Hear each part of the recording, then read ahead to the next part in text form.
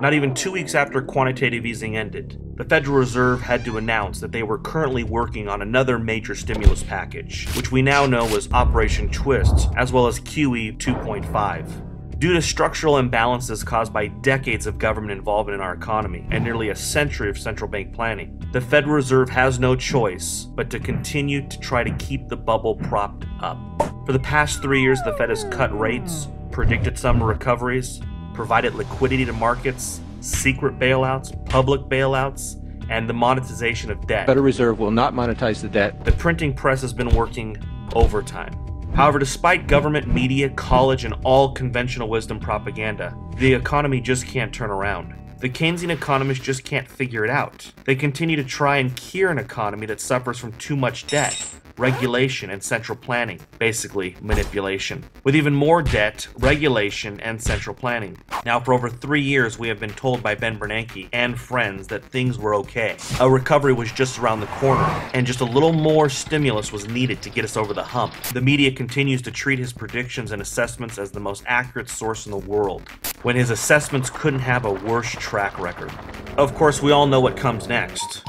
2008 summer recovery, 2009 summer recovery, 2010 summer recovery, and the 2011 summer recovery. Trillions from the government and the Fed have been pumped into the economy. So much so that the US government borrows 45 cents for every dollar it spends. We have been told that this is for our own good, that the spending and borrowing is what saved us from another depression.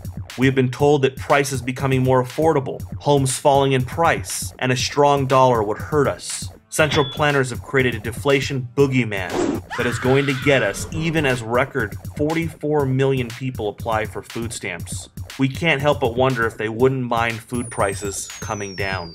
We have also been told that gold and silver are in a bubble. The evidence is all the We Buy Gold stores propping up. You know the ones that Americans go to in order to sell their gold for 10 cents on the dollar? Yep, that sounds like a bubble to us too. Central banks are net buyers of gold. In fact, they are loading up on a record amount of gold for 2011. We should note that central banks did not purchase tech stocks in the 1990s or real estate in 2000. China, the number one producer of gold, is now the number one importer of gold. Oh, they are also encouraging their citizens to purchase the yellow metal too. Recently, Bernanke was asked if gold was money by Congressman Ron Paul. Do you, th- do you think gold is money? His response was no. No. Just to be clear, gold has been used and stored as money for over 5,000 years. In fact, as already stated, central banks are regularly buying gold. Yet in the land of fiat currency, where for the past 40 years the world has been on a fiat currency experiment, the most important central banker of all is willing to look the world in the face and state that central banks buying gold. Well, it's tradition, long term tradition. Maybe this is the part of the same tradition when it comes to devaluing the currencies they are in charge of and bailing out the too big to fails. All just a part of the banker family tradition. Almost makes you feel warm and cozy. For those that are not familiar with gold, our analysis has shown us that gold is still a store of value around the world. It is only in the West where it is treated as a speculative commodity. Most Americans, especially those who consider themselves experts in economics or business, have no idea that for every 100 ounces of gold sold on the COMEX, there's only one ounce of gold to back it up. Something that has obviously distorted the gold markets and suppressed the price. CrushTheStreet.com believes that gold buying is not a banker tradition. It is a banker's hedge a hedge against their own system of fiat currency that is literally loaned into existence. Yes, we know, we often mention how they love to print, but before they even hit a single button, the currency created by the bankers is always loaned out with an interest rate, making an increase in the currency supply inevitable.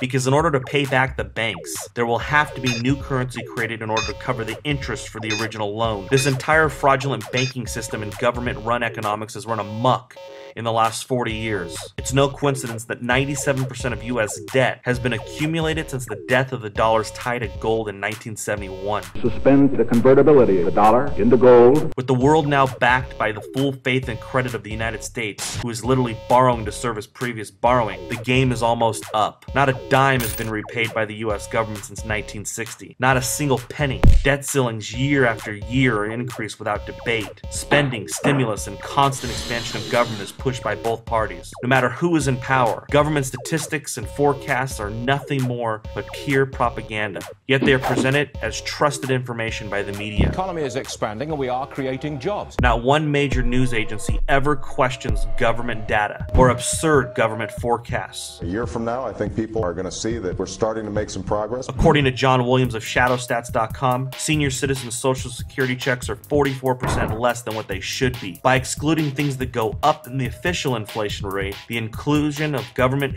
hedonics, the cost of living increases, according to Mr. Williams, has become the cost of survival index. Debt ceiling propaganda, a complete distraction. Today, the big news is the debt ceiling with Congress and the president arguing over fake cuts that will supposedly happen over the next 10 years. Of course, these cuts and savings are all dependent on government data and forecasts. Currently, Obama is spouting out numbers that project a Fed funds rate that will average 2.5% until 2020, even though the actual average Fed funds rate for the past 30 years has been around 6%. Obama is also projecting a 4.2% growth over the next three years, something that is simply impossible due to the change in our demographics and lack of driver for jobs. Anyone in the media that would simply apply realistic GDP growth or debt interest payments would see that any planned cuts are going to be completely offset by lower revenues and higher interest payments. Even if Congress and the president agree to cut 2 trillion over the next 10 years, we are adding an official 1.5 trillion in new debt on an annual basis. CrushTheStreet.com always makes it a point to say official anytime we mention government debt, since the actual real debt is much higher. If the government included total new debt, all unfunded liabilities that will have to be paid, our annual deficit for 2011 would be 4 trillion, and our total national debt is around 100 trillion dollars. Of course, remember, if we actually paid our senior citizens what was promised, the situation would be even worse. We should note that CrushTheStreet.com is not advocating for entitlements. In fact, we oppose them all as they are highly destructive to society.